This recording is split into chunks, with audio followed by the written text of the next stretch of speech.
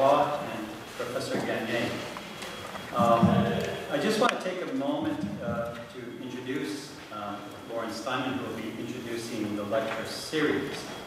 Uh, and a word of thanks on behalf of Religious Studies at McGill University to the Steinman family, uh, to Linda Stein uh, and family for their contribution uh, to the academic life, the intellectual life of McGill University through this multi-year lecture series uh, dedicated uh, uh, to the memory of the late Seymour David Steinman. Lauren Steinman, the, the daughter of Seymour David Steinman, is, is also a PhD student in the School of Religious Studies at McGill University.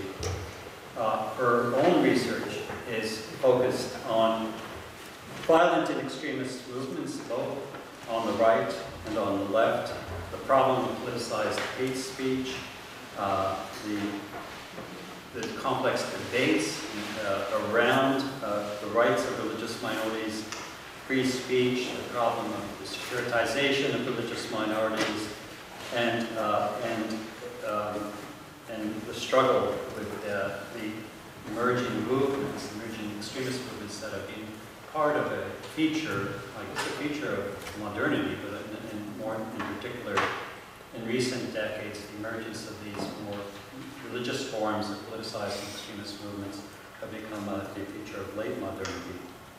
So uh, with that, uh, uh, I'm sure we have a, an exciting evening before us, and I'll turn the floor over to Lauren Steinman.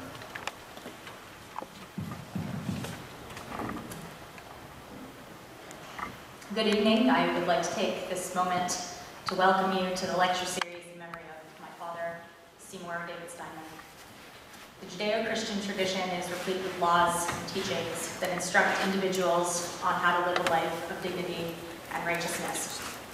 It is within this framework that we are called to an adherence of the Ten Commandments, which stipulate a series of laws that God delivered to Moses in the book of Exodus. The fifth commandment states that one should honor one's parents in the context of their lifetime. While I adhered to this precept throughout my past childhood and adult years, it is this principle which informs the present lecture series.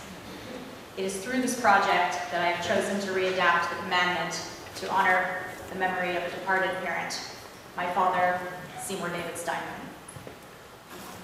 The Mourner's Kaddish represents the traditional prayer that Jews recite upon losing a sibling, child, spouse, or parent.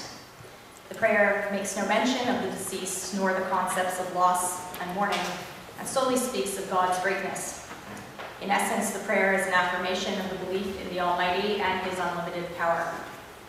This acknowledgement of our human vulnerability when faced with God's judgment is particularly profound for those who are grieving the loss of a loved one. Prayer represents a statement that benefits the soul of the deceased and allows those who are living to maintain a connection with those who have passed. Moving beyond the question of Jewish tradition and customary recitation of the Kaddish prayer, it is through this lecture series that I actively memorialize my father and honor his love and passion for knowledge and learning. My late father, Seymour David Steinman, was a graduate of McGill University, having obtained his Bachelor of Arts in 1959 and a civil law degree in 1964. One of his most distinctive traits was his inquisitive mind. He was ever curious about the complex dimensions of the contemporary world and sought to leave no stone unturned in his quest for knowledge. My father was highly interested in current events and was intrigued by the disciplines of political science, religion, and history. In his later years, he had been enrolled in a master's program at McGill in the Department of Jewish Studies. He felt rooted deeply in his identity as a Jewish Canadian, both through tradition and the wider culture. He was profoundly concerned by the ongoing problem of anti-Semitism and its impact on Jewish communities worldwide, in addition to the increasing presence of nativist ideological rhetoric in contemporary political discourse. Rabbi Lord Jonathan Sacks, Chief Rabbi of England, argues that a parent is defined in terms of his or her ability to adopt the role of teacher. In a sense, my father was one of my very first teachers, who provided me instruction on basic life lessons from what it means to be a Jewish woman in the modern era to what it means to be involved as an or to being involved as a righteous and morally upstanding citizen of this country. He taught me a great deal about respect for others and the value of acknowledging the beauty of human difference. In the last three years, the underpinnings of Western democracy have begun to demonstrate signs of unraveling. There has been a destabilization of certain values that represent the cornerstone belief of democratic states, most notably within the domain of human rights and fundamental freedoms. There has been a significant emergence of populist governmental regimes whose ideological tenets emulate those of totalitarian and fascist states. These governments seek to act divisibly against their citizens. They engage in an ongoing game of identity politics, where discrimination against minorities on the basis of gender, sexual orientation, ethnicity, and religious affiliation have become treated as acceptable forms of rhetorical discourse that ultimately aim to shatter the liberal democratic values of pluralism and multiculturalism. It is from this morally problematic breeding ground that extremist ideologies and movements take shape. And we have a duty as citizens of this world to ground our ethics in something greater than the universal attributes of humanity, which some of the great philosophers attempted in their time. As Rabbi Sacks articulates, Kant based his ethics on the foundation of reason, and Bentham rooted it in the notion of consequences. Hume attributed ethics to certain basic emotions, such as sympathy, empathy, and compassion, while Adam Smith, the notable pioneer of capitalism, predicated his system of ethics on the capacity to stand back from situations and judge them through impartial detachment. As Sacks argues, all of these models possess their own virtues, but none has been entirely infallible. This is where Judaism diverges from other comprehensive worldviews and offers a different and distinct perspective, namely that the guardian of conscience is our capacity for memory. The political structures of free societies depend significantly on the passing on of cultural memory. It is our duty to never forget the errors committed by past civilizations that have brought about immeasurable suffering, toil, violence, and bloodshed. Our capacity to remember the horrific events of genocide, terrorism, mass murder, and other crimes against humanity is the sole means by which we can protect our society from these dangerous threats and safeguard the fundamental liberal values that underpin our democracy. The goal of this lecture series is to bridge together my current PhD research with my father's personal interest in social diversity and the problems of systemic discrimination that target minority groups and vulnerable populations in the contemporary world. As a doctoral student, specializing in the domain of religion, ethics, and public policy, I believe that the subject matter of the event is highly relevant to the present-day social climate of increasing racial, ethnic, and religious discrimination that is plaguing Western democracies. On each night throughout the series, there will be two guest speakers presenting separate lectures. These presentations will be on a specific theme related to a number of significant questions which concern the problem of hate, discrimination, extremism, and violence that target religious communities, as well as other minority groups. Lectures will examine issues around a range of topics, including Christian fundamentalism and far-right extremism, neo-Nazism and white supremacy, Islamophobia, Bill 21, and Quebec society, secularism, religious freedom, religious visibility in the public sphere, anti-Semitism, hate speech, immigration in the 21st century, and the question of religious and ethnic minority rights in democracies, the latter of which brings to bear the complex and deeply rooted relationship between religion and law.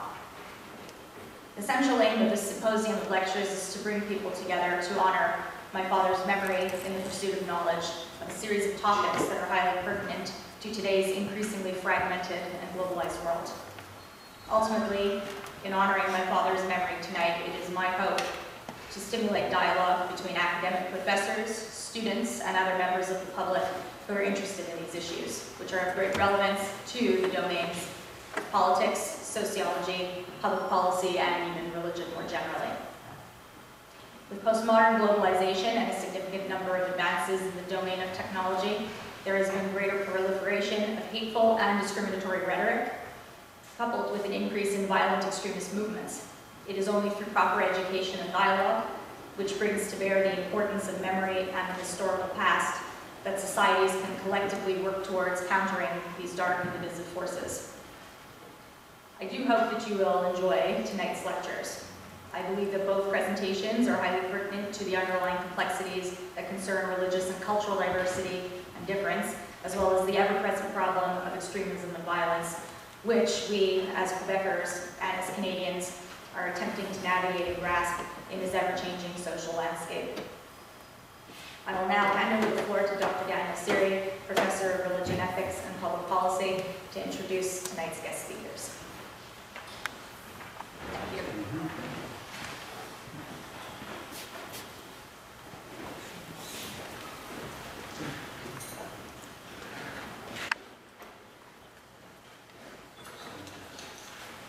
deal with my blindness.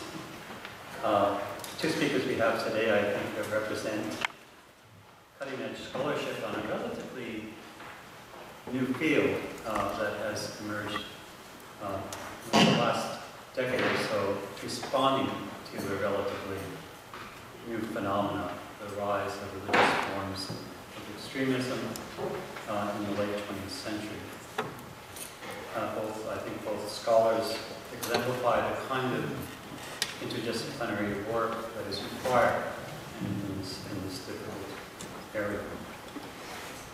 Uh, I'll introduce the first speaker, uh, Dr. André Gagné.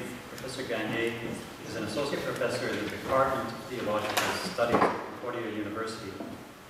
He works on the Christian right, Christian dominionism, fundamentalism, religious violence, and the interpretation and reception of the Bible.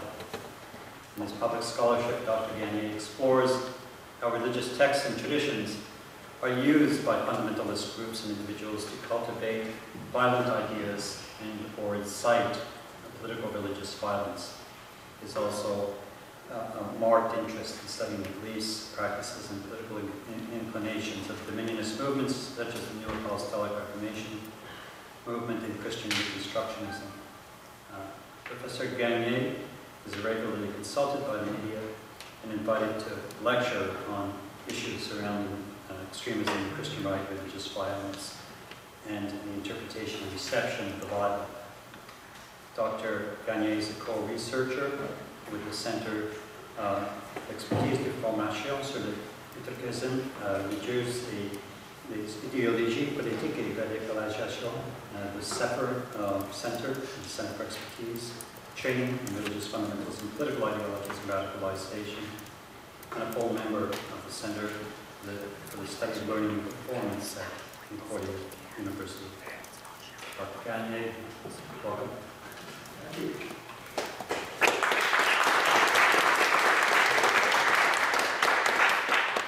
Okay.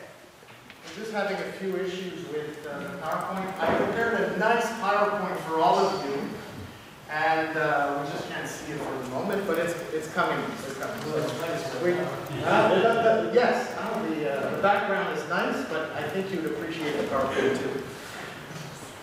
So we're gonna get there. Uh, okay.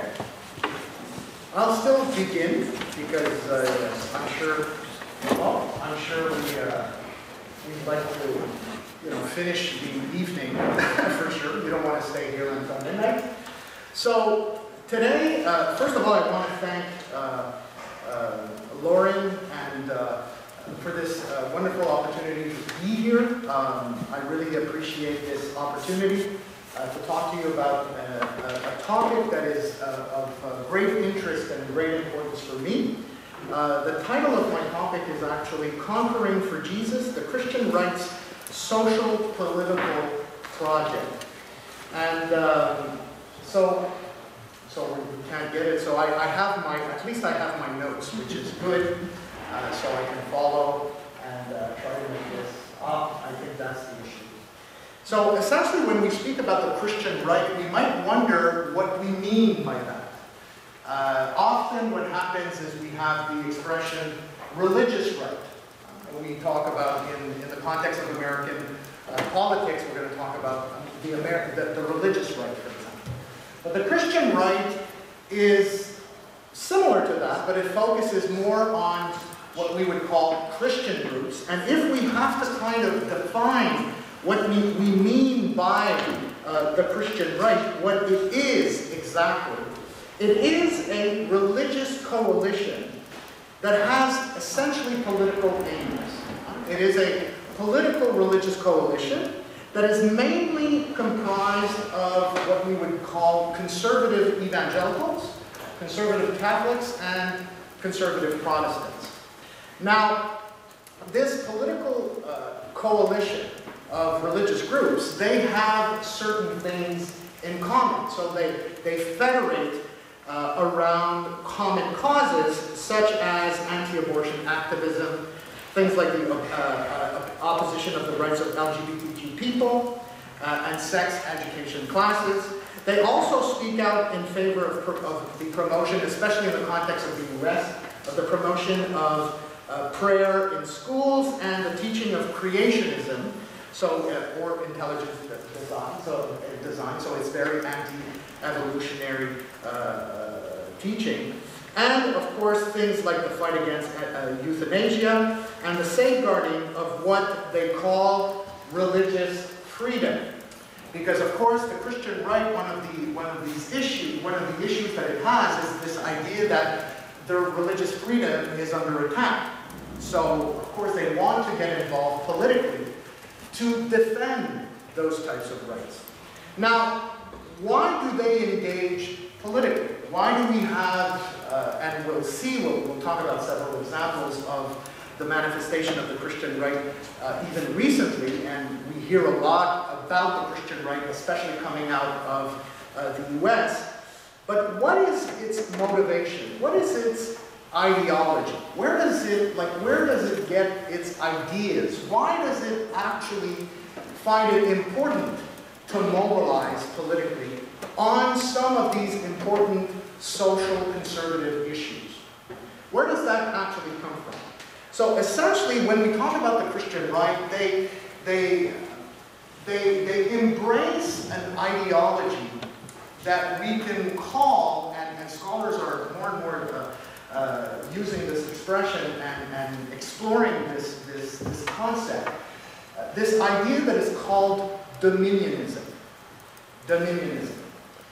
Now, dominionism is essentially, and, and, to give you a kind of a, a, short definition of what it is, and I, I have a, a colleague, uh, researcher that has been working on this question in the US for the past 30 years.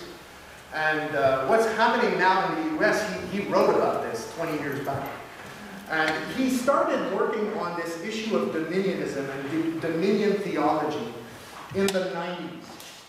And one of the things he, he, uh, he realized is that he had to clearly define what that meant. What do we mean by dominionism? And how does the Christian right actually uh, use this type of ideology to mobilize uh, individuals into political action? So dominionism, in a nutshell, is essentially this. It is the theocratic idea that regardless of the theological view, means, or timetable, Christians are called by God to exercise dominion over every aspect of society by taking control of political and cultural institutions. So it's essentially a theocratic idea, okay? And it is, of course, it, it can touch any kind of, uh, it, it, you know, the theology uh, it can embrace any kind of theological perspective, a, a, specific Christian theological perspective, and even uh, uh, a particular, what we would call eschatological perspective, or understanding of the end times. Uh, but the idea is that Christians are called to dominion. Christians are called to exercise dominion in every aspect of life and society. Now, where do they get this idea? They essentially get this idea through a reading that they do of the book of Genesis, a particular text in the book of Genesis, in Genesis chapter 1, verses 26 to 21 uh, to 28, a passage that we're very, very familiar with uh, those that are familiar with the uh, uh, Judeo-Christian tradition in the book of Genesis that talks about the creation of humankind. And in that passage, it essentially says that God said to humankind as he was creating uh, human beings, he said, Let us make man in our image according to our likeness, and let them rule over the fish of the sea, and over the birds of the sky, and over the cattle, and over all the earth, and over every creeping thing that creeps on the earth. God created man in his own image. In the image of God, he created him. Male and female, he created them. God blessed them, and God said to them, Be fruitful and multiply, fill the earth, and subdue it, and rule over the fish of the sea, and over the birds of the sky, and over every living thing that moves on the earth. Now, when we read this passage, our impression is that this is something that God is calling humankind to exercise. That human beings are responsible, in a sense, to uh, manage uh, creation. But according to a dominionist perspective, this dominion, this exercise of dominion, is actually the responsibility of Christians. So it is not humankind, but it is Christians that are called to rule the earth. So this is essentially, starting from this particular type of reading of the book of Genesis, this becomes the, the, the kind of proof text on which dominion theology will be built. Now, when we talk about the Christian right itself, I defined what it is in a sense. I defined it as a political uh, coalition, right? a religious political coalition. But it is comprised of different types of Christians. The Christian right, uh, you have all sorts of groups in there. Of course, we talked about specific uh, groups like evangelicals and Catholics or Protestants, but uh, what kind of uh, ideas do they embrace? What kind of positions do they take? Essentially, when we talk about the Christian right, you have three types of Christians. You have conservative Christians, so Christians that are conservatives, Christians that are essentially share social conservative views, but do not necessarily embrace dominionism. They're not there to rule the world. They're not there to change the institutions. They're not there to, uh, you know, create problems for the political institutions, social institutions. They're there because they have values and they want to bring their values to the fore. They want to just engage with society at a political level. So you have Christians that are conservatives that can be involved in politics. And sometimes they, of course, fall under the category of the Christian right. At the same time, you have other Christians that we can call Christian nationalists, where this is a little more than just social conservative values. This is, for example, you hear in the U.S. this idea that the U.S. was founded on uh, the Judeo-Christian tradition, huh? uh, that the U.S. is a Christian nation, uh, that Christianity should be the primary religion, that Christianity can, is not to be treated like any other religion, but it has a more preeminent, prevalent place in uh, American society. So you have Christian nationalists, and often Christian nationalists, they will embrace dominionist ideas. Now, in that spectrum, you have those Christian conservatives, Christian nationalists, but you also have Christian theocrats, unfortunately, where you have these people that it's even more than that, that in fact, society should essentially be governed by God's laws.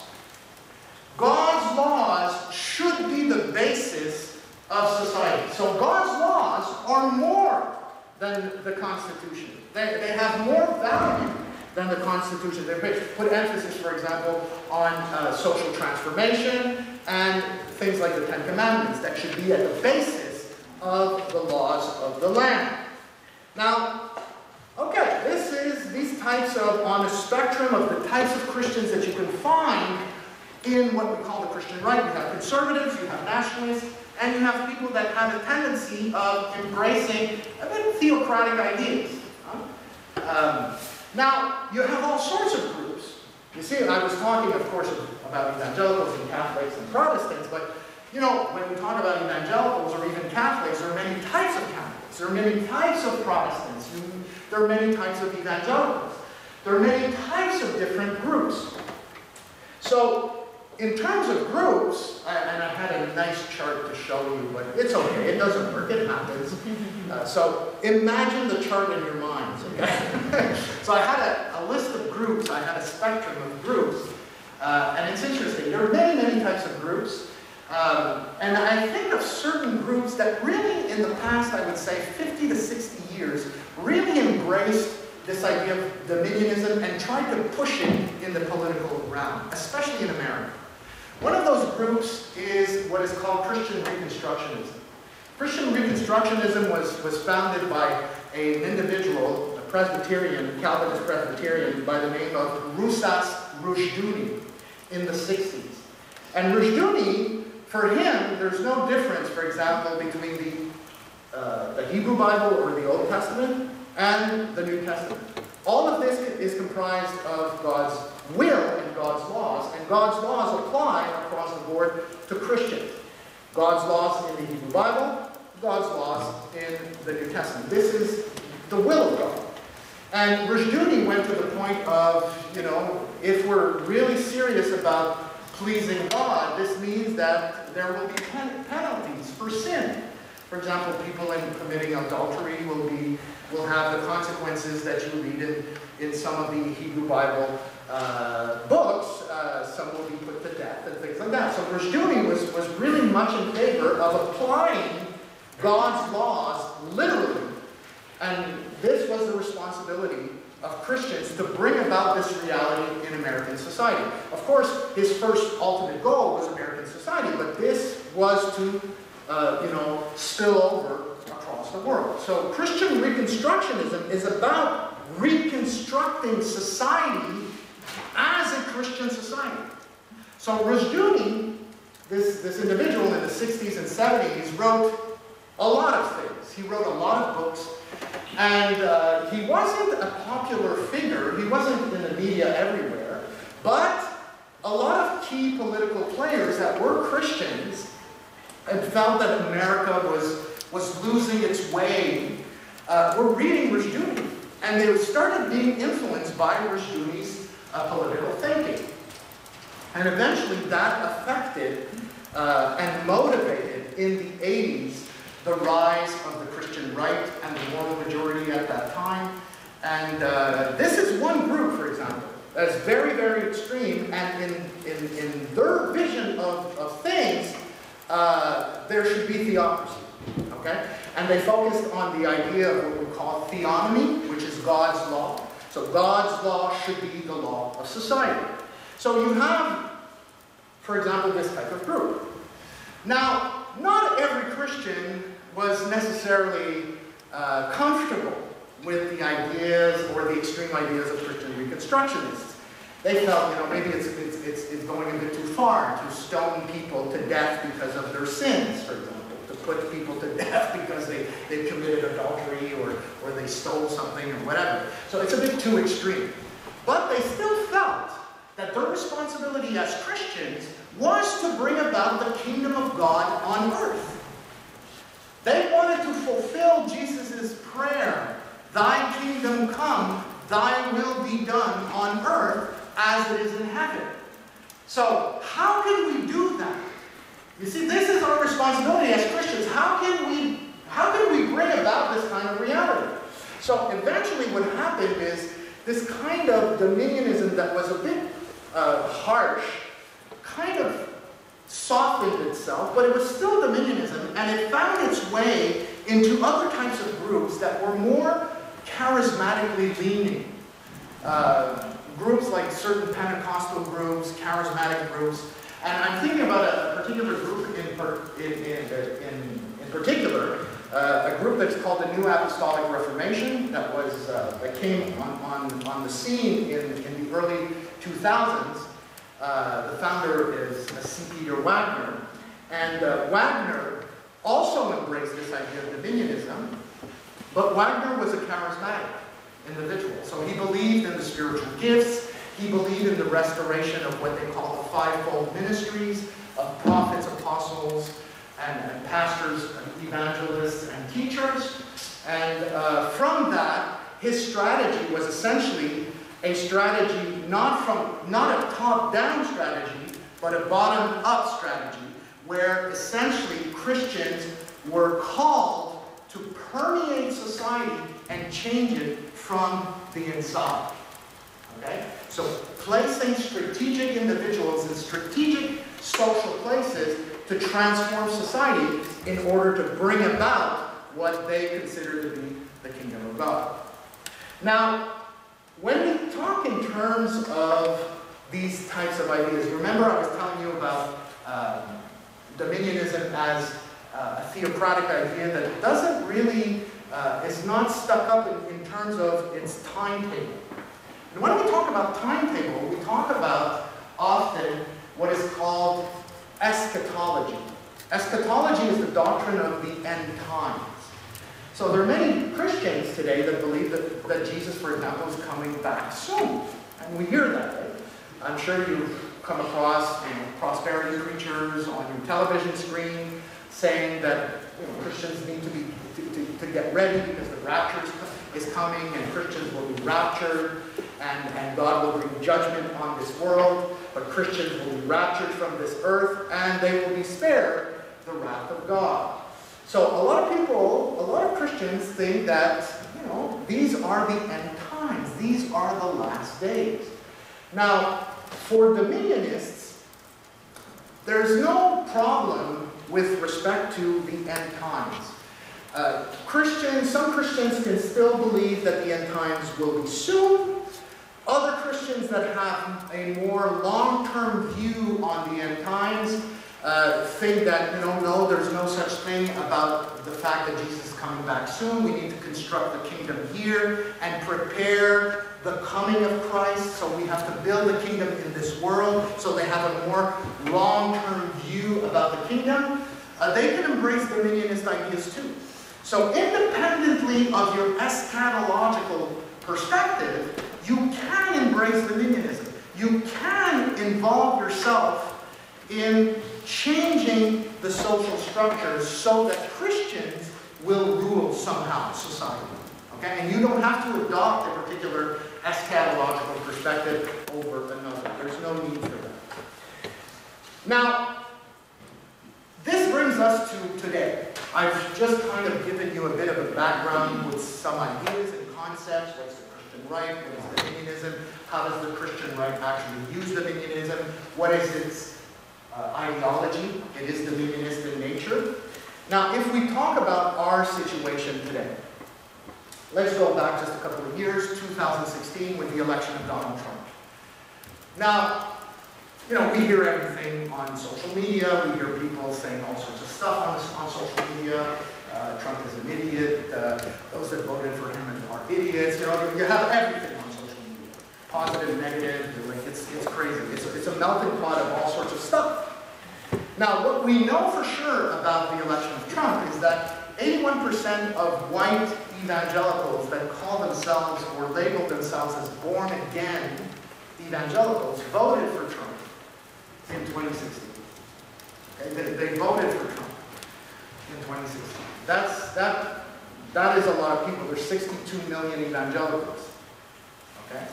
uh, in, in America. So that's, uh, that's a big chunk of that. That's over 30 million that voted for Trump. Now, this means, in a sense, what's, what's interesting about this is they had an impact. And they, they had a reason to vote for him. And what we've seen in the past two years, two and a half years, three years, is we've seen all sorts of policies come out of the White House. We've seen issues around anti-LGBTQ rights. We're now seeing issues around uh, anti-abortion. And certain states are, are kind of opening up this, this uh, question and, and uh, uh bringing about legislation against uh, abortion. Uh, we've seen a lot of issues around immigration. You heard about the Muslim ban. You, we constantly hear about the wall at the Mexican-American border. Um, We're also talking, and, and we hear about uh, even a second, uh, a a possible second American Civil War. Uh, We have this type of rhetoric. Uh, Some, some, some Christian leaders uh, that belong to the Christian right say that, for example, the abortion issue will generate in the American population uh, the possibility of a second American Civil War. Now, the issue of, of Trump's impeachment might bring about this, this kind of second American uh, Civil War. And you have prominent Christian right pastors in the US that support Trump uh, that are embracing this kind of rhetoric and that are polarizing the electorate. And they're energizing, in a sense, this base of individuals that voted for Trump. Even some people that are saying, amongst these, these Christian right leaders, that are saying that it is sin to vote against Trump. So why, why are we there? Like, what are the causes for these types of groups to take a position that seems to be uh, so far from what they had experienced under the Obama administration? You're going from one, one, one end of the, spectrum to the other. What, what is the cause? What are the causes? Are there causes? I wrote a, I, I read a very interesting book by Robert uh, Wuthnow, who is an anthropologist, uh, who's very much interested in religion and politics and religion and society in American, uh, in, in America. And he wrote a book called The Left Behind. And one of the things he wanted to know is why people voted for Trump. And he, he's actually from the, the ah! He's actually, it appeared. it appeared. Okay, we're getting there. Okay, thank you. Thank you. Okay. Yes, yes, yes. Uh, see those nice charts? see those nice charts? This was all for you. But we, we missed it. But it's okay. It's okay. I'll, I'll miss you. Thank you, Lauren. Hey, you're. Okay, so go forward. Okay, we're good. I'll change it as we go from there. Okay, another one, another one. Okay, there we go. Okay, listen now. This is his book, The Left Behind. Thank you so much. Um, and in his book, he tried to figure out, he went back to the Midwest and tried to figure out what were some of the issues that uh, generated this, this kind of vote for Trump. And he realized that a lot of people had grievances. They had grievances against the previous administration. A lot of people felt that they had not been listened to. A lot of people felt that they were marginalized. Their voices didn't count under the Obama administration. So they had all sorts of issues. First of all, we know that two-thirds of people living in rural areas voted for him. So this is some of the uh, information that he, uh, that he gathers from uh, his uh, anthropological and sociolo sociological work. And as he was talking with, with people, uh, a lot of individuals said that they felt a profound resentment from Washington because they felt that Washington or the big government was encroaching on their own personal lives, on their own liberties. They felt that they did not have any rights anymore, that everything was decided in Washington, and they had no say. And they were tired of it. Okay? So this idea of draining the swamp, right, that what we heard, we hear constantly Trump uh, saying, eh, this resonated with. Communities felt threatened. They, they, they were uncomfortable with ideas of abortion and same-sex marriage. They were, they were uncomfortable and they, they, they reacted against diversity. They weren't used to religious diversity, racial diversity, cultural diversity. So they had all of these grievances and they felt that someone like Trump, despite his background, despite his you know, extramarital affairs, despite that ethics did not correspond to their own values, they still considered Trump to be someone that God would use because he listened to them and to their concerns. And of course, Trump has, or the evangelicals at least, these white evangelicals now have the ear of Trump. Okay, they live, Trump listens to them because he knows this is, uh, these are his base. So you have all of these grievances, you see? Now, if you have grievances and if you want to do something with that, grievances alone don't, are not sufficient to mobilize individuals into political action. You need grievances and you need ideology. And this reminds me of a famous quote by Peter Neumann, who was formerly uh, the director of the Center for Radicalization at King's College. Now he's just professor and someone else took his place. Uh, but he said something very interesting in terms of grievances, the relationship between grievances, what people, you know, the, the issues that they have, and ideology. Essentially, ideology without grievances does not resonate, and grievances without ideology are not acted upon. So you need both. You see, so you have people that can have grievances, but if, if there's no ideology to actually motivate them to action, to political action, to actually change things, they're not going to do anything about it. You see? And it's not just ideology itself. So they need grievances. So the combination of grievances with dominion theology, with preachers that are not politicizing everything, this is the perfect combination to actually get people, you know, mobilize people politically to effectuate the change that they see as being necessary. You see? So this is the consequence of this. Now, we are at about a year and a half from the next election. And what's at stake for them? You see, these, these individuals, this, this, I would consider this, this kind of group as a kind of social radicalized group, religious group at the moment in America. What's at stake for them? Everything. If Trump is not reelected, they lose everything that they feel they have gained under him. So what's at stake? It reminds me that I, I, I came across an interesting quote by Michael Brown, who is uh, um, a fundamentalist Christian, and I would say identifies pretty much with, with Christian right ideas uh, in, in the U.S. Very, very popular. It has a, a, a, a large following. And uh, Brown says that uh, there's no way he could vote for a Democrat. And I have this quote, very interesting.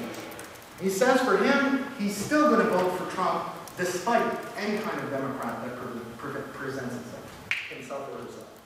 He says, in the same way when it comes to the uh, economy, if it's Trump versus a socialist, he has my vote.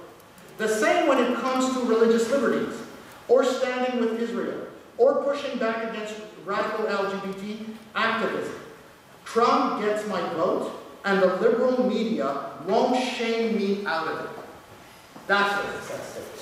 You see, so they feel that they have gained a lot under uh, Trump's presidency. They feel that they have a, a, a ear. They, they feel that their voice counts. So anything, it's very hard to change these people's minds, you see? And it's not Trump's um, actions in the moral sphere that's going to change it. Because some of them even qualify Trump as a new Cyrus. You know who King Cyrus was in the Bible? Huh? This important Persian king that permitted uh, the Jews to go back to their, to their land and rebuild their city and rebuild their temple. Trump is compared to Cyrus. Cyrus, in the book of Isaiah, is called the Messiah. Okay, so Trump is, you, you can scan the literature of Christian right uh, leaders. They compare it to Cyrus, to, King, to Queen Esther. Uh, they compare uh, Trump to Moses. They compare Trump to King David. Name it. And for them, they're, they're even going to admit Trump is not necessarily my religious leader, but he is the political leader that we need. Okay? So this is very important, eh? To what extent they're, they're really ready to go. Now, do you remember I was telling you about the, uh, the New Apostolic Reformation? Now, the New Apostolic Reformation was, was founded by C. Peter Wagner in 2001 because, of course, uh, again, they started adopting ideas of dominionism. He wrote this very important book called Dominion. And one of the things that's important for researchers like us is to actually read their literature, to actually read people's primary sources. What do they say about their political ideas? What are they, what are they talking about their, you know, in terms of their policies? What do they want to do? And in this book, he, he clearly states that uh, what's important is that despite the fact that they don't embrace Christian reconstructionists that are, for them, maybe extreme ideas, they still embrace dominionism. They still believe in the fact that God wants Christians to rule in order for them to establish His kingdom in preparation for the second coming of Christ. Now, how do they go about this? They go about this this way. They go about this, and this comes to my title, Conquering for Jesus. They conceptualize society as being comprised of what they call the seven mountains of culture. Now, these seven mountains of culture are divided into various areas of life that we are familiar with, and you have them here. You have arts and entertainment, business, education, family, government, media, and religion. Now, the goal of people like that belong to this, this, this movement called the New Apostolic Reformation is to permeate these mountains of culture and attain the summit of those, of those mountains in order to transform the culture of those areas of society. And when they manage to do that, this is how the kingdom of God comes on. Now, I will read you a long quote, and it's significant. Bear with me because this illustrates exactly their strategy. This is a quote from Lance Wallnau, who is now probably the number one, I would call him the Seven Mountains Mandate Guru. Seven Mountains Mandate Guru, Lance Wallnau. He co-edited a book called Invaded, Invading Babylon. He says this concerning this strategy. Social transformation. How he envisions social transformation for the kingdom. He says, the business of shifting culture or transforming nations does not require a majority of conversions. We make a mistake when we focus on winning a harvest in order to shape a culture.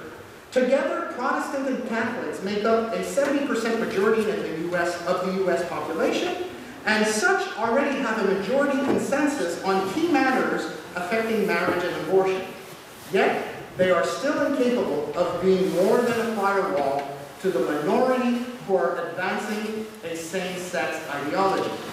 If we do not need more conversions to shift a culture, what do we need? We need more disciples in the right places, the high places. Minorities of people can shape the agenda if properly aligned and deployed. The greatest gain in gay rights occurring during the 10 years of our most conservative presidencies and their movement has never been larger than 5 to 6% of the population.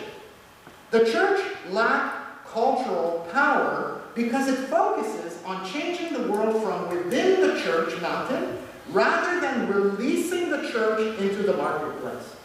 The goal is to be the church that raises up disciples who go into all the world. Taking the gospel into all the world is no longer a simple journey of geography. The world is a matrix of overlapping systems and spheres of influence. We are called to go into the entire matrix and invade every system with an influence that liberates that system's full potential. Each sphere has its unique structure, culture, and strong hold of thinking, a worldview of its own. The battle in each sphere is over the ideas that dominate that sphere and between the individuals who have the most power to advance those ideas. The church must be represented in each sphere if the power of darkness is to be broken. Now, do you understand how they conceptualize and even how they understand society? They understand society to be under the influence of the powers of darkness. And their responsibility is to permeate those spheres and change those spheres, change the mentalities, change the cultures of those spheres, and bring about the kingdom of God. Okay? This is dominionism. This is dominionism. It is stealth. Huh? You don't see it, but it, it grows gradually. And this is the example that we have in the US. This is what we see in the US. My colleagues were writing about what's happening now in the US 20 years back, and they were warning people in the US about being careful about the separation of church and state. And people were dismissing what they were telling them. Be careful about dominionist ideas that are penetrating the political realm.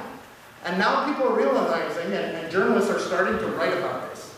And my colleagues were saying, see, we, we, told you about this, but you, you didn't heed the warning. Now, I'm, I'm going to go very uh, rapidly uh, with the two, three last slides because I have my colleague that has uh, something to say tonight too. So, what do they do to mobilize the troops? They need, uh, of course, a strategy. One of their strategy is called spiritual warfare. So they engage in conceptualizing everything that doesn't correspond to their worldview as being the enemy. And they are engaged in a battle that is a spiritual battle, but in the end, that really does a lot of harm because of how it characterizes people that are not in their own camp. You see? So they use a lot of spiritual warfare language to conquer, to conquer these mountains. One needs to engage in spiritual warfare against what they consider to be demonic forces controlling people in these spheres.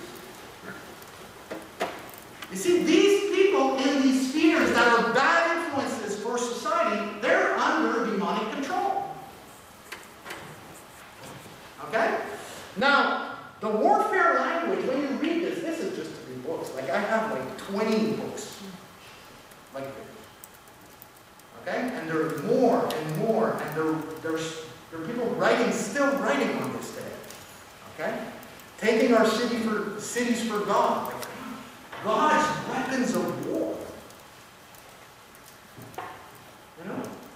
Uh, so the language that is used is very similar to the biblical stories that we find of the conquest of the promised land. Uh, if you read some of the narratives in uh, the book of Numbers, for example, Exodus, um, Deuteronomy, and, and, and, and, you know, in the Pentateuch, you're, you're going to see stories about conquering promised land. So sometimes America is compared to the promised land. We have to reconquer this promised land. Or it's compared, or the language that is used is uh, America is Babylon. We have to invade the evil city of Babylon and turn it over to God. Okay, so this language is used, but how do they penetrate? Those spheres, they penetrate. How do they engage in social transformation? They engage in social transformation by having what they call what they call apostles in the marketplace. Now, an apostle, the word apostle essentially means one who is sent. In Christianity, it's one who is sent by God. Or Jesus calls his apostles, Jesus sends his apostles. So, apostolos means to be sent. Now, they are sent. For them, apostles are not people that should be in churches. Apostles are people that are in churches that are trained in churches in, in what they call apostolic centers to go back into their spheres of influence, which is the marketplace. You see, they go back into the marketplace. So essentially, that's what they're, they're doing. They're calling uh, for apostles to be part of society and change society. Now, what are we to do? And I'm going to finish with this. This is a long quote, but I'm not going to read it all. I'm just going to summarize what it says. This is a quote at the end of uh, Wuthnow's book, because at the end, he was a bit discouraged with everything that he was discovering in relation to the grievances that people had, why they voted for Donald Trump in 2016. And at the end, he says, you know, I'm a liberal. I've always voted Democrat. I was always for, I voted for, for, for Hillary, for Obama. I have progressive values.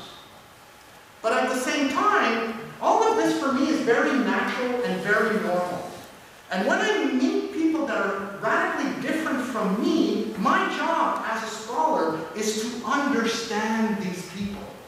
Not to judge them, but to understand them. Understand where they're coming from and why they think the way they think.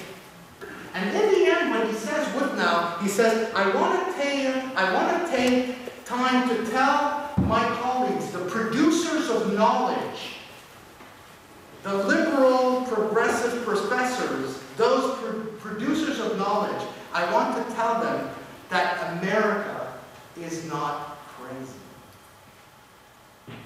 They are not crazy because they voted for Trump. They have grievances. And you need to understand that to address that.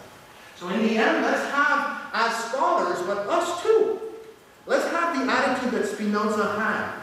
I have striven not to laugh at human actions, not to weep at them, nor to hate them, but to understand them.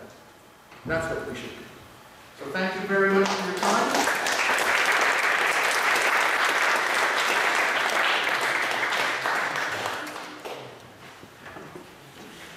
Thank you, Professor Gagné. Uh, Our, our, our second speaker is Dr. Martin Geoffroy. Professor Geoffroy holds a doctorate and master's degrees in sociology from the University of Montreal and communication studies from UQAM. Uh, He's held chief positions at the University of London, uh, Fellowship Universitaire for St. Boniface, and uh, postdoctoral researcher uh, at Fordham University. He's currently teaching at the T. CJ. Internationally re- recognized expert in the field of uh, religious fundamentalism and extremism. The author of over 20 articles and chapters, co-edited two books, and six special issues uh, in international scholarly journals such as the International Journal of Politics, Culture and Society, Australian Religious Studies Review. He's a well-known and uh, media expert in Canada and uh, often focus for commentary on the issues we're talking about tonight. Uh, Martin Geoffroy directs uh, CEFIR, the Center for Expertise and Training in Religious Fundamentalism, Political Ideologies, and Radicalization. This is a major initiative funded uh, by SSHRC's Social Innovation Fund and provides research, research and formation uh, for the study of uh, extremist movements.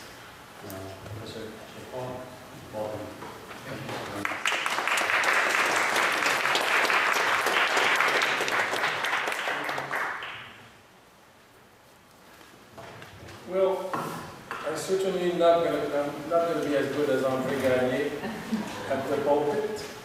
Uh, I couldn't help when I, when I saw André uh, thinking about him like 20 years ago as a pastor. He still had, he still had a, a pastor, it pastorish way, pastorish, uh, like I uh, he seemed to preach a little bit in, in the intonation. So I'm not going to be. Uh, as good as he, as he is. Obviously, uh, I don't have uh, much practice in English anymore. I used to. I did my postdoctoral study in New York. Uh, my English improved while I was there. I, I actually write in English better than I speak in English most of the time.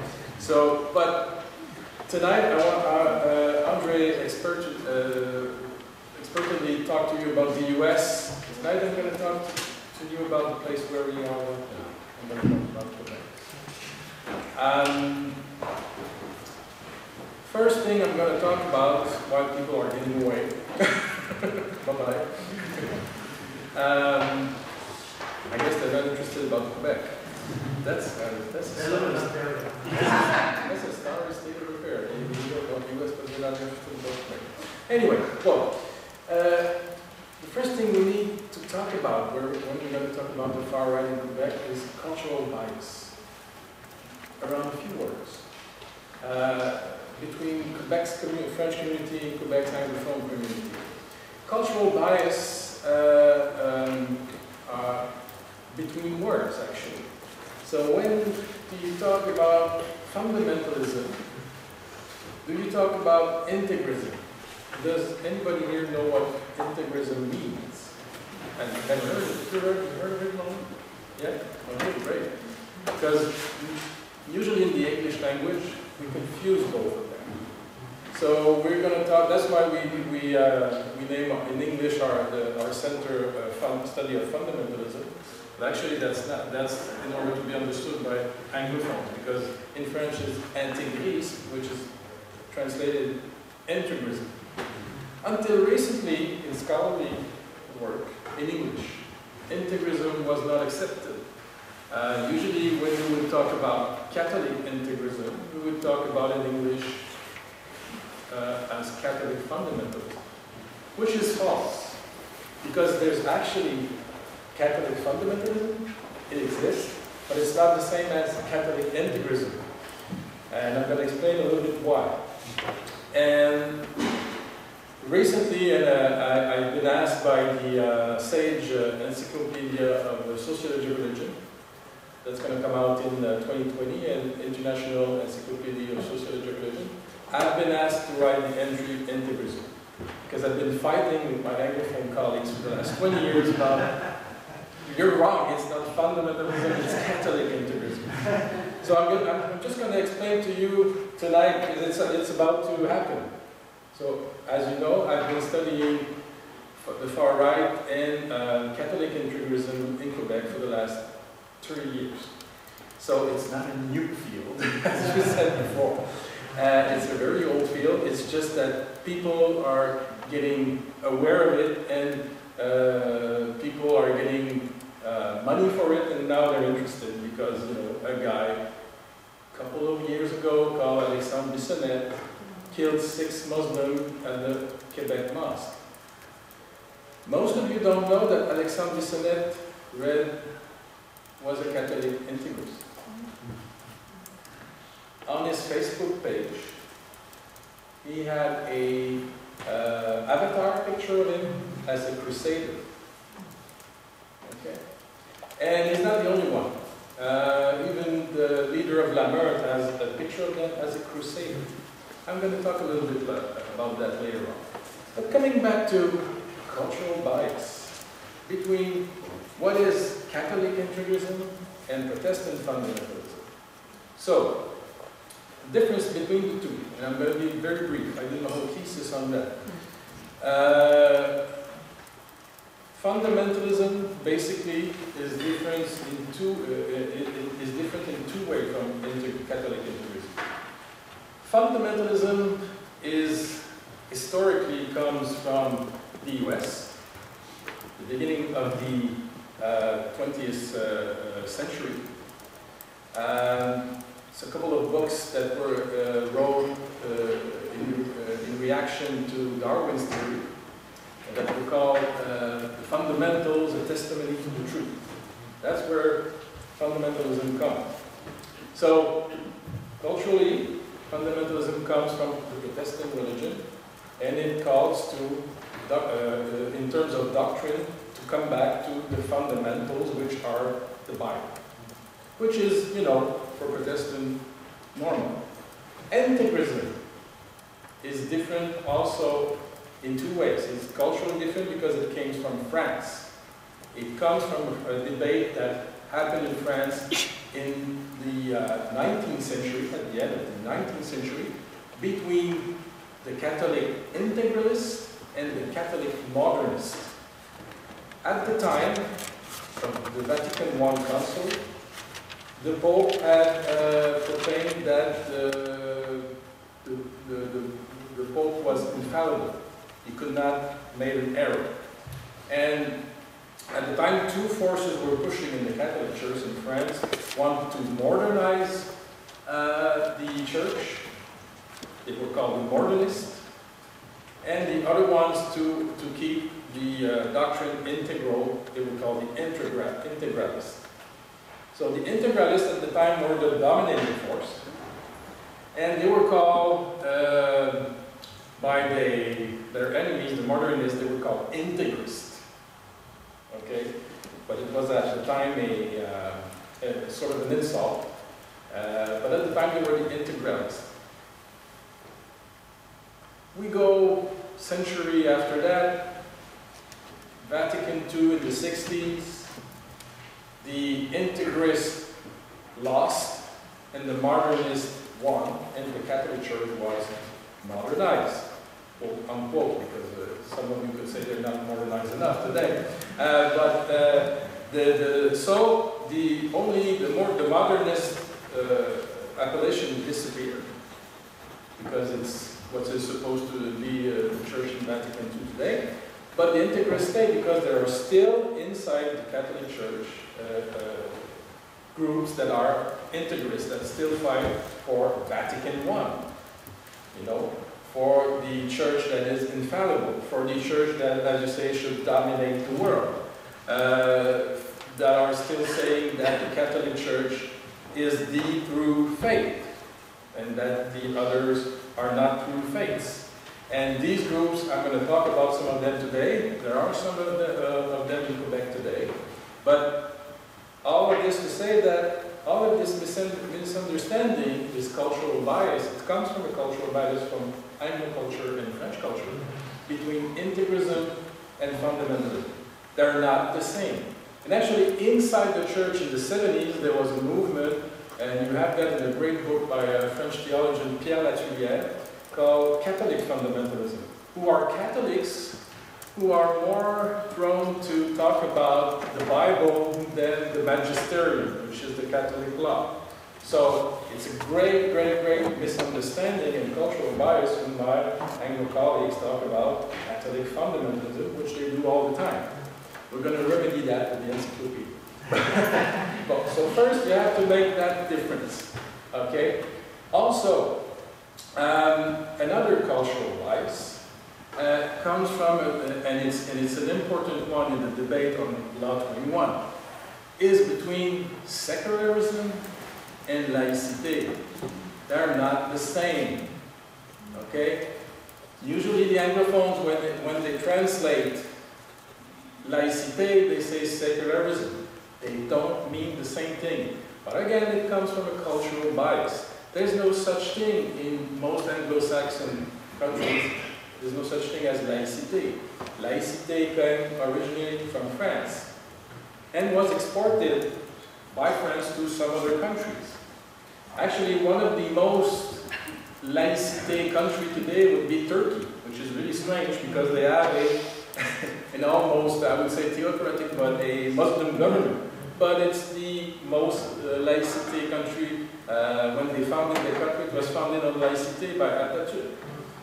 So the model of laïcité uh, means basically uh, that there's a separation of church and state, but also that uh, uh, in terms of religion, religion should be, not that religion should disappear, that religion should be, uh, should be uh, ostracized, but that religion should be a private affair. You should manifest the sign of religion at home. You can do whatever you like in the bedroom, as they say, okay, but not, uh, not publicly. So laïcité is deeply rooted in French history, and as you can understand, in uh, French culture in Quebec. So that's where laïcity comes. But secularism is a bit more, when you translate it, uh, secularism means you know, the disappearing, the slow, dis in, in terms of sociological concepts, secularism means the slow disappearing of religion from society. So you understand that when you translate laicite to secularism, you put to the term laicite a negative connotation that religion is going to slowly disappear from society. The secularism uh, movement that all sociologists in all the world noted in the last 40 years, 60 years, was, was a concept that was explaining how religion was slowly disappearing from the public sphere in society. Uh, and some of them would go even further, saying that uh, so religion would totally disappear. Uh, it did not.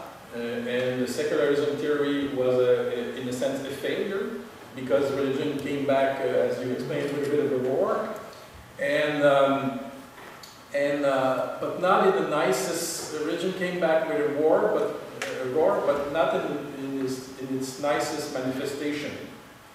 Uh, we can see today that mainstream religion is going down, but fundamentalist religion and integrist religion is going up. So, uh, it would be very long to explain all of it, and I have much to say. So, cultural biases first, between laicite and secularism, between integrism and fundamentalism really important to understand because when you start a debate on Law 21 or, or on uh, Catholic religion in Quebec and you don't understand these cultural biases that comes from two different languages and culture, you're starting very, very badly. So, uh, I'm? I'm okay? Okay. Um, so we're, we're going to do a small portrait now of the far right in Quebec, knowing these things. Um, with its link with what I call a Catholic culture, or uh, uh, also an integrist or intransigent culture. Um, contrary to popular belief, and it's uh, been uh, a, a sort of a fight of mine with, with, all of my uh, colleagues from Quebec. When I started uh, my center a few years ago, a great political science from the University of Sherbrooke, that I work with, uh, David Morin, who was the UNESCO chair uh, in Quebec on the prevention of radicalization, came to my college, we organized a conference, and he told me there is no religion in the far right. Most political science, you know, they say, oh, far right is only political. There's no religion in that, a political scientist. You know. I'm a sociologist of religion, so I beg to differ. And it's, it's sort of been demonstrated itself since then. But um, again, you're going to have a sort of a, uh, a cultural bias because when you talk about Jewish religion, when you talk about Muslim religion, automatically the extremist movement in these religions is associated with religion. But have you ever asked yourself the question, why in Quebec we are, even the scholars, are dissociating Christianism from the far right? They never talk about religion. It's always political, it's always the far right. There's no religion in the far right. Even the people that I interview in the far right say, oh, I don't believe in religion. Okay. Um, I've been studying this for the last 30 years.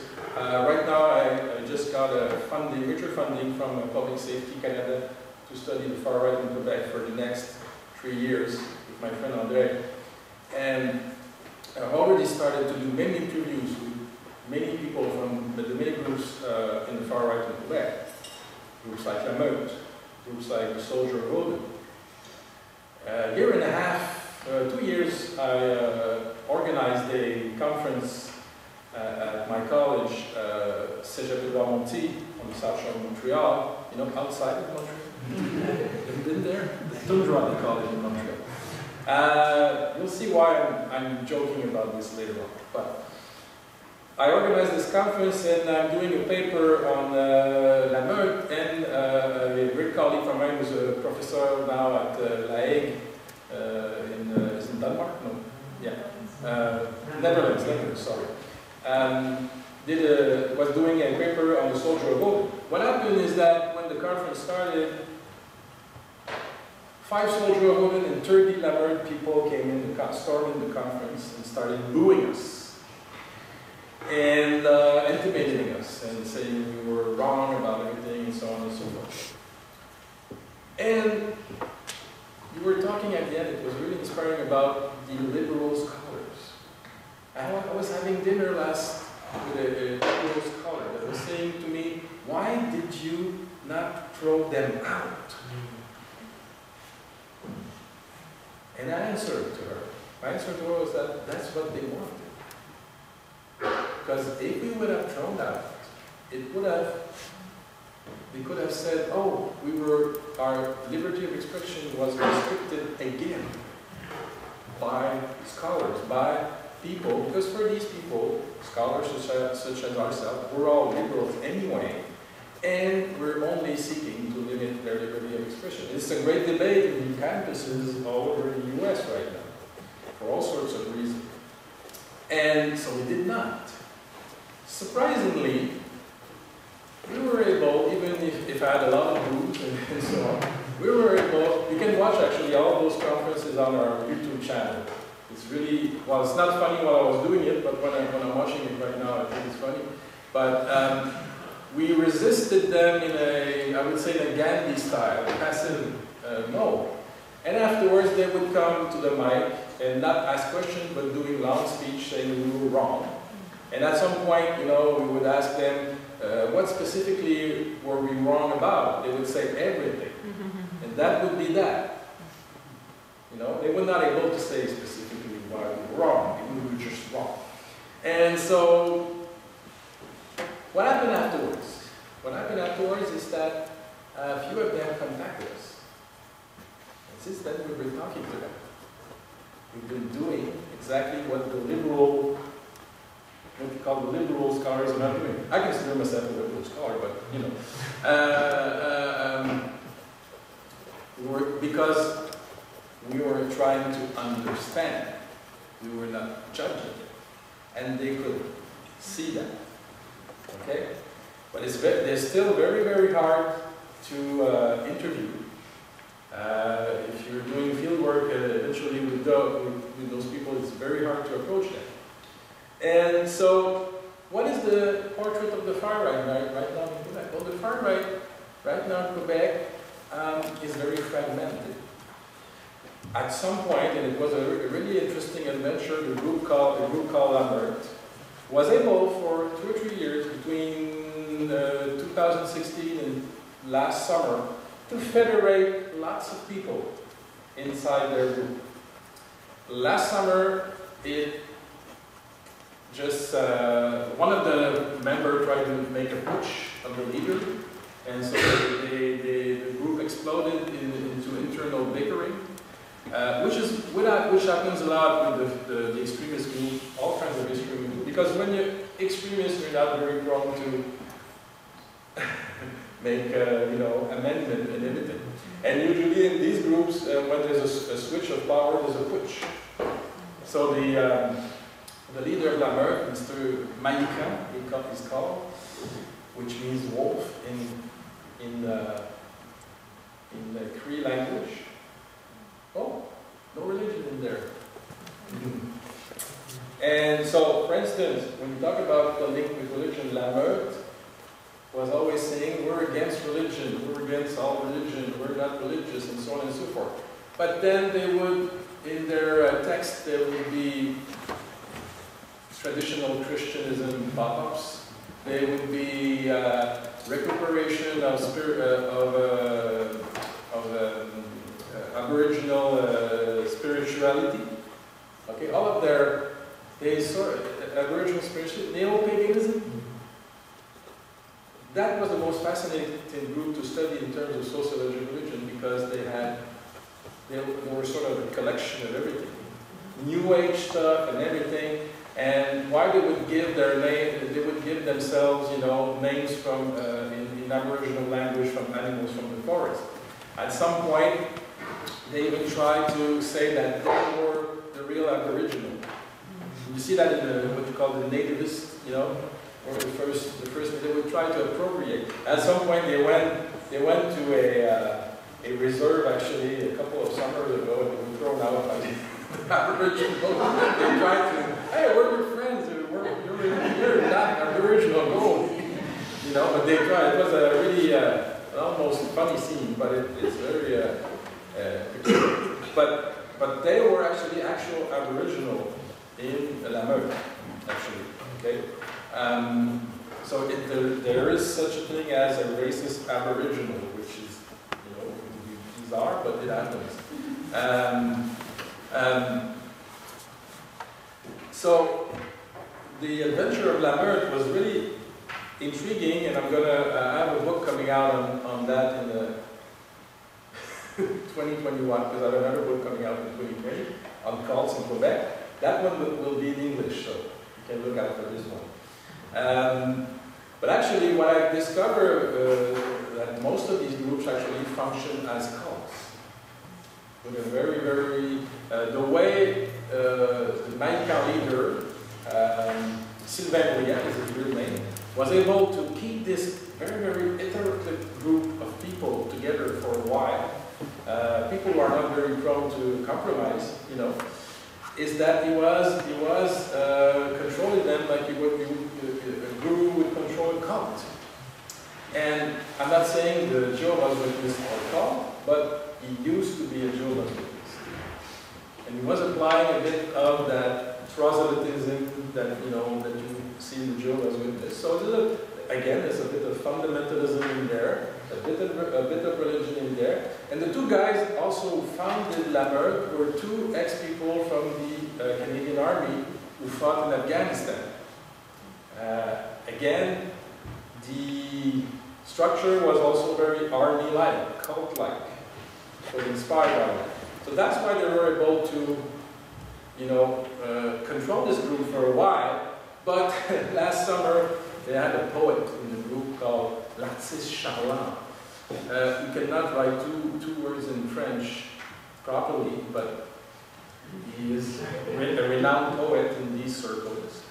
Uh, but again, it's very interesting when you're talking about grievances, you know. This guy, who does not even know how to write in French, is a hero. But look at the people who are making him a hero.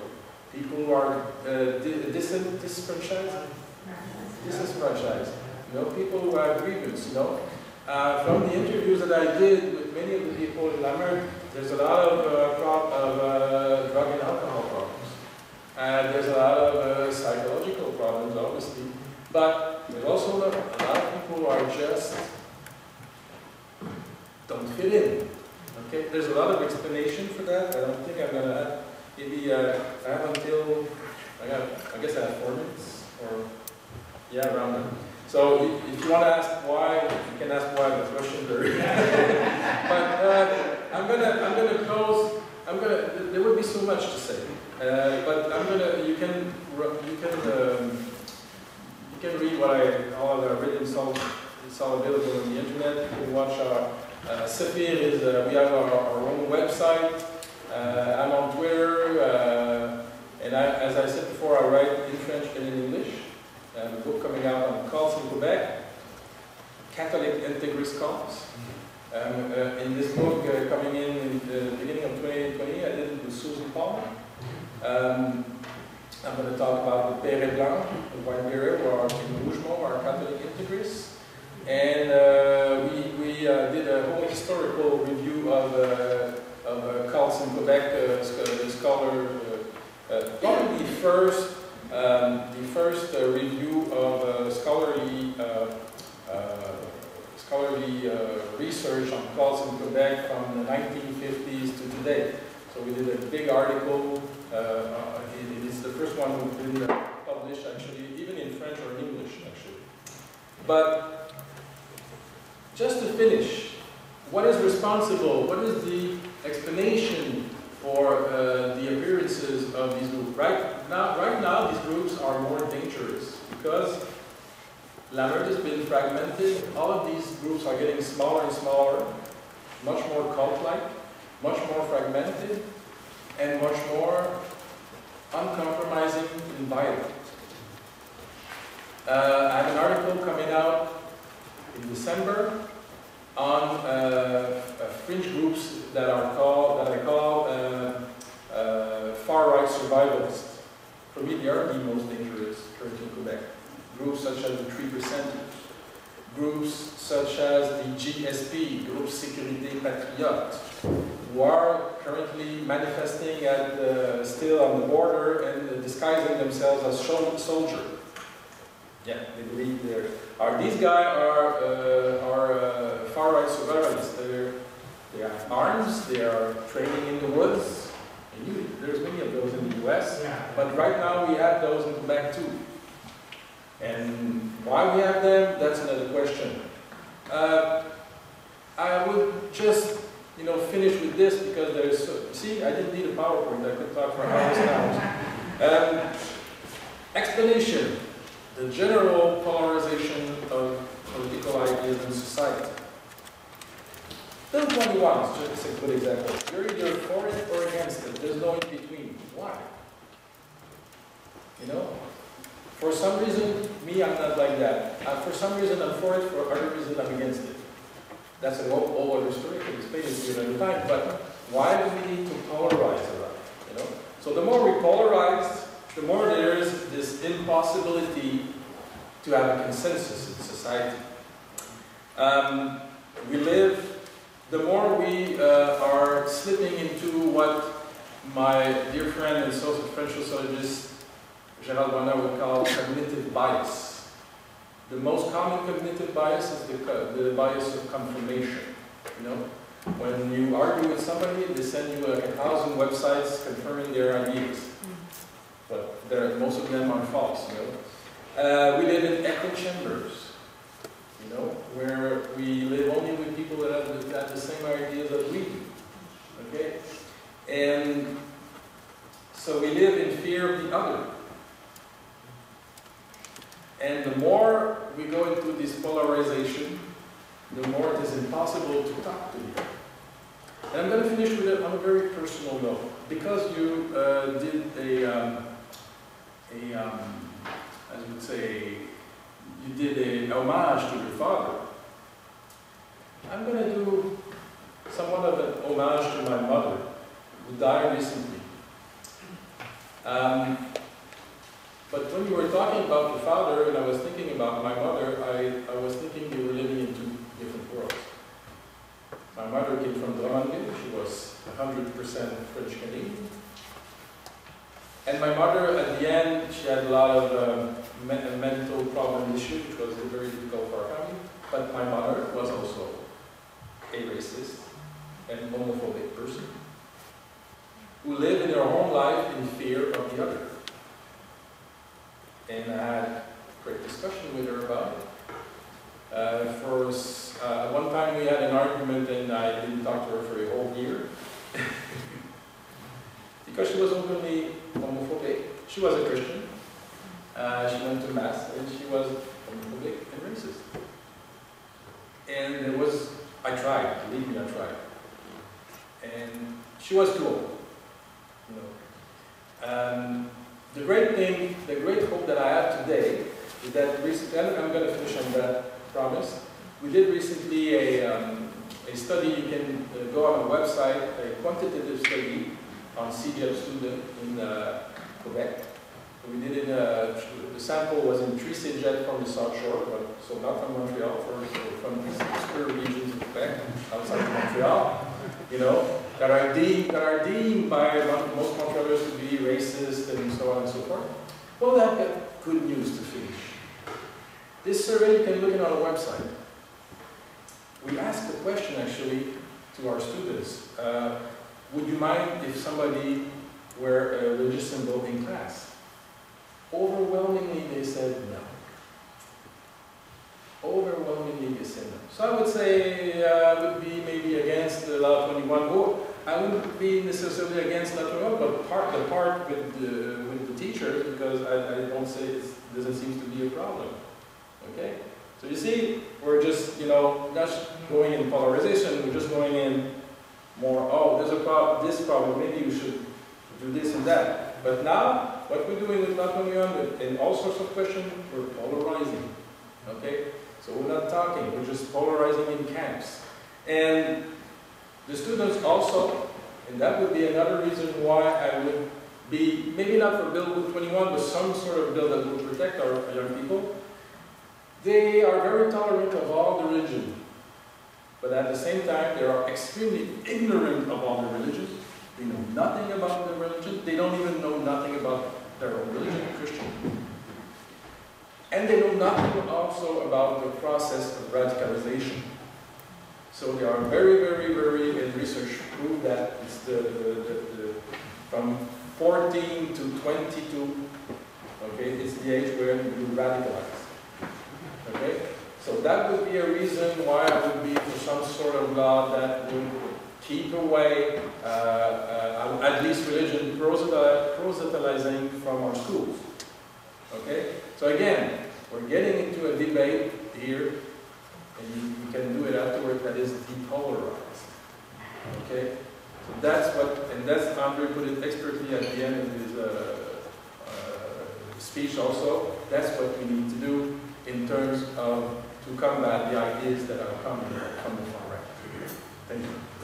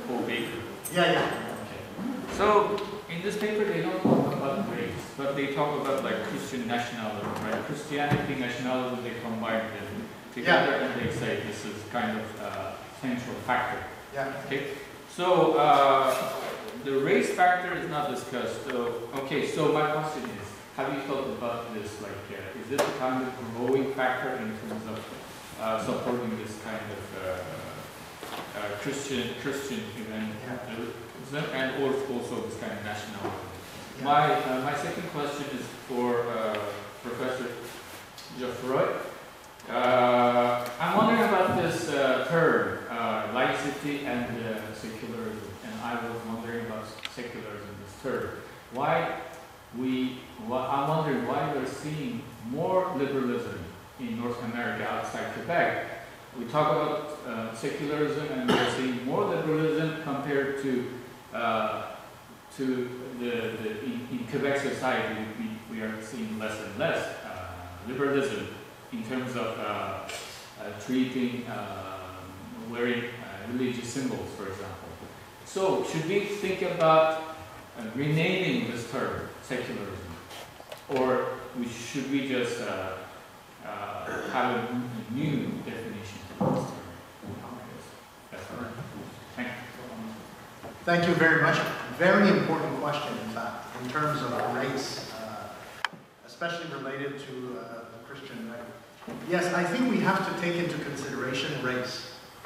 Because the majority of support that we have now in the US, for example, uh, for the Republican Party and for the policies that come out from the, the, the White House and Trump, is uh, for the most part, and, and let, let's just take even the, the uh, the midterm primaries where, where there were votes. Uh, at the time, there were 75% of evangelicals that were supporting Republican uh, Republican policies at, at, during the midterms. And when we came to other um, uh, when we came to uh, other uh, races or ethnic groups, for example, you had uh, non-whites and blacks, that was 12%. So the issue, you know, when we frame this an issue as evang evangelicals, um, we have to be careful. There, there's, there's, you know, evangelicals can be defined in many, many ways. Uh, even the term evangelical is a, prob is a problematic term. There are people that are even advocating to just get rid of the term and let's just use uh, the terms of, of various Christian denominations instead of, of just having this umbrella term. But yes, in terms of race, the, the majority of the support is white evangelicals that, that label themselves as, as mainly born again. And, and for the other uh, groups, uh, the, uh, the support is, is much, much less. It's below 15%. Definitely. Thank you for your question. You were talking about liberalism. You did not define it. Uh, this is an extremely uh, gal- galvauded, galvauded term. Um, in the US, it doesn't mean the same thing as in Canada, as in France, and, and so on and so forth. So I would be quite cautious about saying that Quebec is less liberal than the rest of Canada. Actually, it voted liberal in the last election. I'm just kidding. Uh, but uh, uh, in terms of, um, I would say Quebec uh, is not less liberal than the rest of Canada, but it's certainly a distinct society. And uh, for instance, you know, if you go to Alberta, in terms of uh, economics, I would say Alberta is certainly more conservative than Quebec, so less liberal. So there's only one question that Quebec is less liberal than the rest of Canada and in the rest of North America is religion. And there's a good reason for that. There's historical reasons.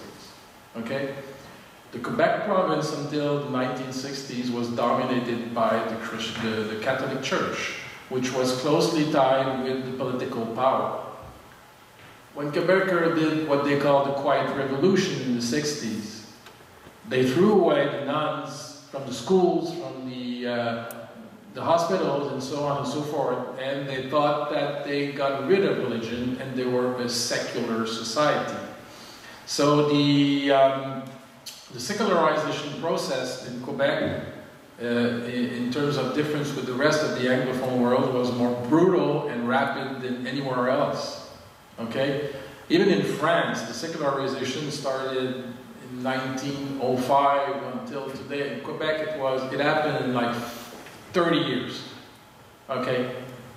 It- this was an so you you you must understand that if you were in, in the, you would transport yourself in Quebec in the 1950s, you would find uh, or just go uh, read s- stories from that era. You will see it's an incredibly religious society. So Quebecers, especially the Quebecers from my generation, uh, had an incredibly bad experience with religion tied to political power, and they are extremely, and uh, extremely um, aware and uh, and um,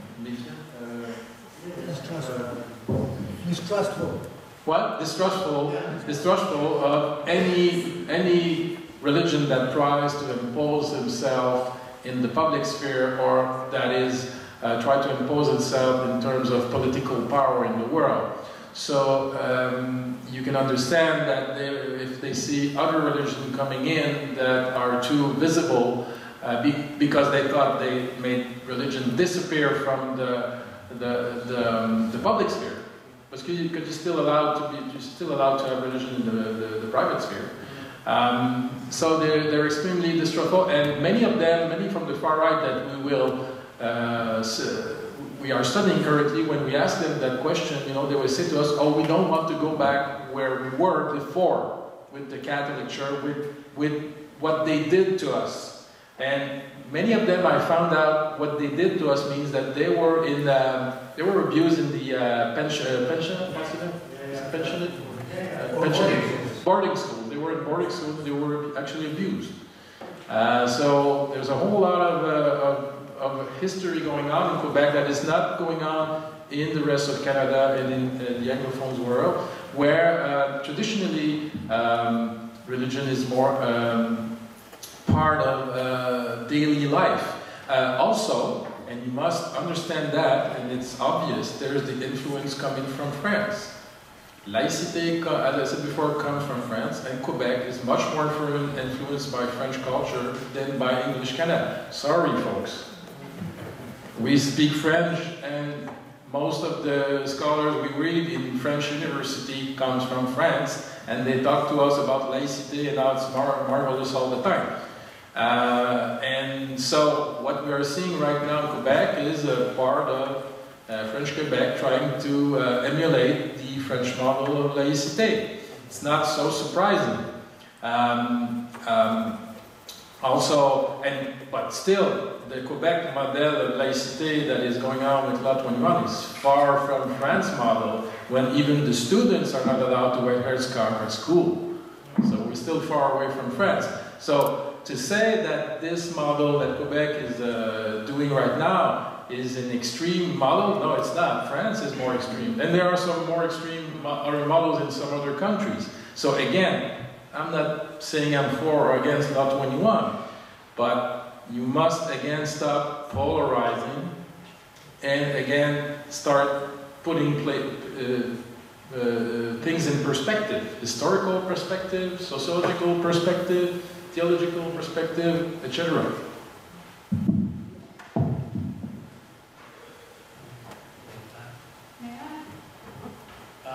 Just some, this is a question to you, Um, Because Western Europeans tend to have a lower birth rate. Might have to well, speak up a bit. Okay, uh, because people of Western European uh, origin tend to have a lower birth rate, sort of well below um, replacement level compared to non-Europeans, how much do you think these sort of policies and new laws in both Canada and the United States are reactionary as opposed to historical reason? Um, you're talking to me? Uh, I will respond, thank you. Um, okay, so I'm just try. I'm just going to repeat it because I didn't quite. I, I want to be sure I understood because you were not talking very loudly. Um, you're saying that the birth rate is uh, bigger uh, for immigrants than Quebecers. Yes, uh, like there's a demographic shift Yeah.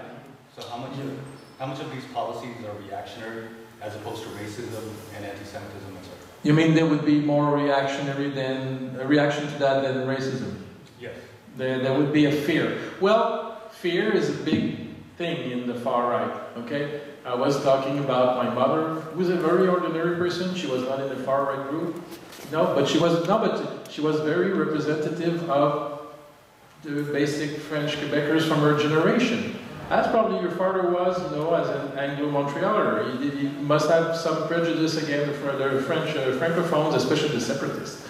And, uh, and so on and so forth. So my mother lived in fear her whole life, you know, and the, the, the, the phrase I heard the most uh, when I see people from the far right, but even people who are not in groups of the far right, is uh, they talk about an invasion. They talk about uh, uh, uh, uh, being uh, replaced. The theory of the great re- replacement is a, is a big theory. But in the case of Quebec, it's, it's more peculiar. I'm going to explain uh, why to you. You must not forget that in Canada and in North America, for that matter, French Quebecers are a minority. And we tend to forget that. And as a minority, they are always in fear of disappearing as a culture. So many, many people who get into these far right groups are obviously not necessarily. I always said, you know, Quebecers are not racist, they're xenophobic. There's a nuance. Being racist is saying you're superior to the other race. Being xenophobic is fear of the other race because you feel inferior. Most of their uh, life, the- most of their history, Quebecers have been dominated by Anglophones. Economically, uh, scholastically, the, the Quiet Revolution sort of remedy to that, you know, but it's still there in many of these people from my generation that are in groups in La Meute today. Also, these groups, these nationalist groups that are uh, in, in the far right right now, they voted yes to two referendum and they lost. What can they do now? Imagine, try to imagine that, you know, you dream of a country, uh, your own country, and you twice go, and, and the last time you were not very far from it, actually, and you lost. What do you do? Many of them, you know, would revert to terrorism. You know, the, when the, when the, in the history of uh, movements, you know, when a movement lost momentum and, and died slowly, in desperation, people could revert to, to, to extremism, to violence, you know. Uh, and that's where we see that Quebec is not a very violent place because, you know, after losing two referendums, many sovereignists could have turned to violence. But now they're in the Bloc Québécois. they're not very violent, they just go to Ottawa, you know, and to uh, annoy the Anglophone in Ottawa. You know, I would not call that violence. But anyway, do you understand what I'm saying? You know, French Quebecers being a minority um, have always been fearful of their culture disappearing. And if you start, and if you talk statistically, in Canada, if you look at the, the, the number, the statistic, they are effectively disappearing. French culture in Canada, in all of the provinces, and I've, I've been professor in St. Boniface, I've been professor in Moncton, in Acadian. Every year, the percentage of French-speaking people are getting lower and lower. They're getting assimilated. So the fear of disappearing is a good, but, but it's not a good fear, but it's a, uh, it's a, it's real. It's real, and, and it explains it in a way. And also, uh, but the good, the good thing again is that uh, French, uh, French people in Canada that are um, uh, speaking French as a first language at all is going down, but there are more and more francophiles. There are more and more Anglophones in the other provinces that are speaking French. Actually, when I was teaching at St. Boniface, the, uh, and, and it was a pity, the Anglophones were better in French than the, the Franco-Manitobans. And um, that's a good news, you know. I, I always try to do a bad one and a good one, you know, just in order not to, to polarize, you No, know. no, all right. No polarization with me tonight. I hope this answered your question. Uh, was a question. Yes, I, I I had a question about, uh, for Dr. Gagné, about uh, the um, uh, radical uh, Christians Yeah, in the Canadian West. Yeah. If you would speak a bit about that. yes, yes, very good. the- Yeah, Anglophone West. Yeah, yeah, this is very important, in fact. Um, People have a tendency of, of thinking that there's no such thing as the Christian right in Canada. Uh, But there is, in fact. Um, And, and um, what we've, what we've seen is, is, we see the Christian right often in Canada manifest itself through move, through, through various movements. Mainly uh, Christian right movements that are embracing causes like anti-abortion, for example. There are two movements in Canada that have had political aims for the past 15, 20 years. One is called Campaign Life Coalition, and the other one is Right Now, that have uh, literally uh, thousands of members. Uh, I've co-written a piece with uh, uh, Andrea Febres uh, Gagné, who's not a, not in my family, but uh, she's, she's a, a student, uh, graduate student, and we worked on this. And um, just for this election, for example, they, their strategy was to get uh, um, elected, uh, uh, elected officials in, in Parliament independently of the, uh, of the political party to try to have pro-life or anti-abortion uh, elected officials uh, in, par- in Parliament. And they managed, despite the fact that the Liberal government won a minority, uh, the Conservatives, uh, they, they managed to have more than half of the Conservative elected officials uh, elected, like the, the, the people that they backed, at 56% are now anti-abortion or, or pro-life at the moment in the Conservative Party in the West. Um, so these are people that embrace Christian right ideas. And so what will that do to the official uh, position of the Conservative Party? The thing is, at, at this moment, of course, Andrew Scheer, uh, because of his ambivalence on this issue, was even himself, as, as a leader of the, of the CPC, was not even backed by these groups. He was, because they felt he was too wishy-washy. So the thing is, for them, they, they, don't, they don't really mind if the leader is not uh, fully pro-life, if he gives the backbenchers the opportunity of presenting a bill, which Scheer said he wouldn't oppose in, in any shape or form, he personally would not push it, but he's not going to prevent people from making a proposal. Um, that for them, if they have enough people that would push the bill, that's enough for them, you see? So what is that going to do to the party at the moment is, is, is this is a big question. You see, there are people like Jason Kenney that are not too far, that are clearly, clearly aligned. Jason Kenney's uh, election is, is, is due to the, to the networking of the, of the Christian right in Alberta. This is, this is very, very clear. Uh, the same with what we see, what we saw recently in Ontario.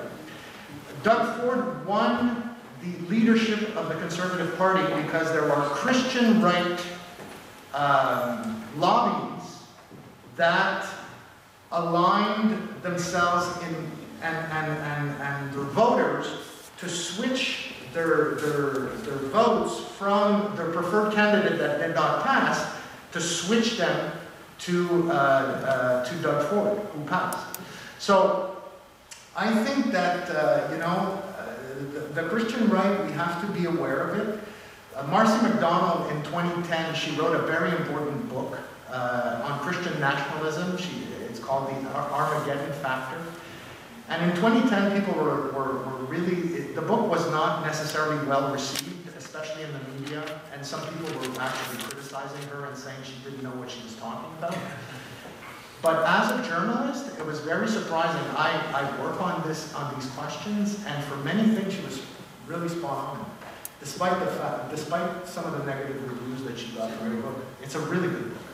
So I think that we need, I think that we need to be very careful uh, and not minimize the possibility uh, that the Christian right can mobilize itself. Because, you know, the Christian right, what it can do is it has the ability to mobilize itself because of all the networks that it has, before, because of all the connections that it has with, with a lot of pastors and priests uh, across, uh, across the land.